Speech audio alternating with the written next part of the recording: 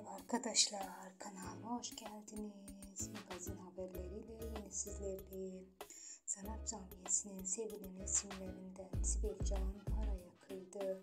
Yoğunluk tek alarak kendisini ödüllendirdi.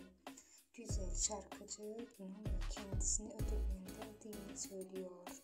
Bu gibi haberlerden anında haberdar olmak istiyorsanız lütfen kanalıma abone olup like unutmayın.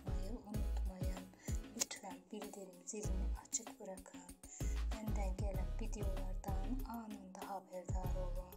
Gözünüz kulağınız kanalımda olsun. Videolarımı sonuna kadar izleyip like atmayı unutmayın. İyi seyirler, hoşçakalın.